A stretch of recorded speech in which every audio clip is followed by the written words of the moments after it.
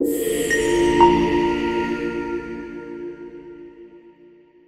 must know, we will know.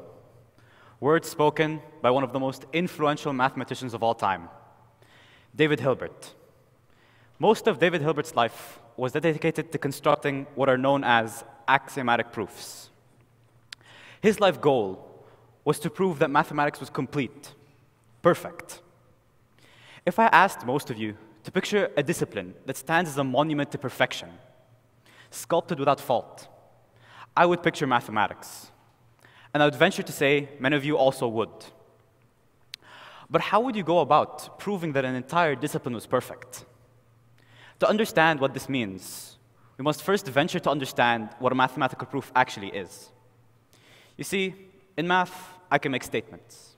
For example, I could say that x plus 1 equals 2. It's plain to see that x equals 1 is the solution to this equation. But why do you know that? It's because you likely already knew that 1 plus 1 equaled 2. You built up from one undeniable truth to prove something more complex. That, in a nutshell, is all a mathematical proof actually is. But why would you care about something that initially seems like such a simple concept? Well, it's because David Hilbert cared. He cared a lot.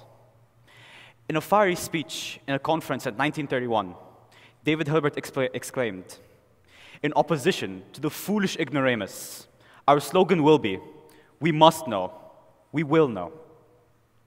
David Hilbert was a perfectionist, searching for an island of answers. Now, this need for answers creates an extremely competitive environment. And you may have noticed that in places like a school like this one, or a workplace, there's a paradox of perfection that is fostered.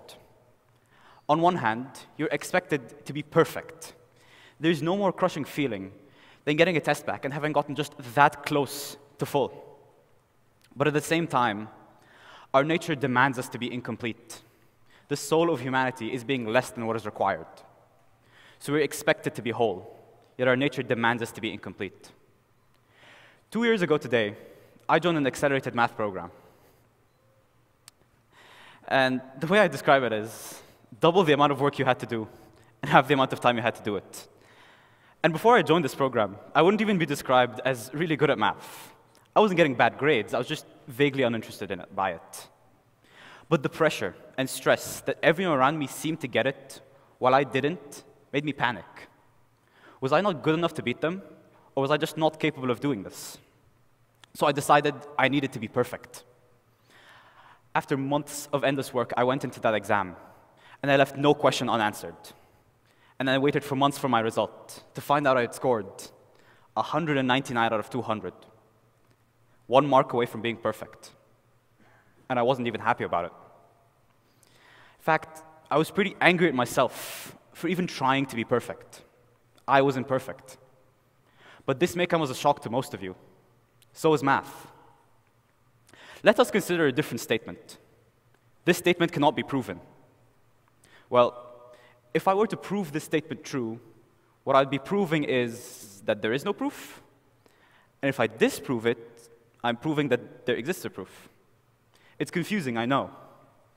But this contradiction proves that mathematics is inconsistent and incomplete.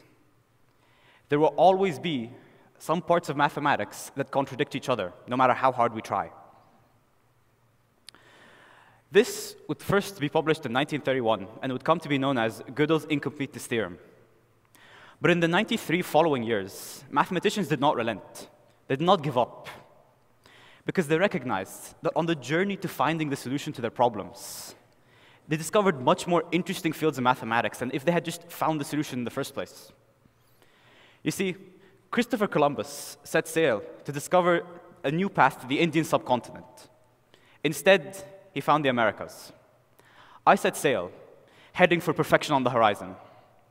But instead, I found myself with a growing passion for teaching mathematics to my fellow peers. And today I stand in front of you giving a speech about mathematics. I say, we must try to know, but we will not always know. Thank you.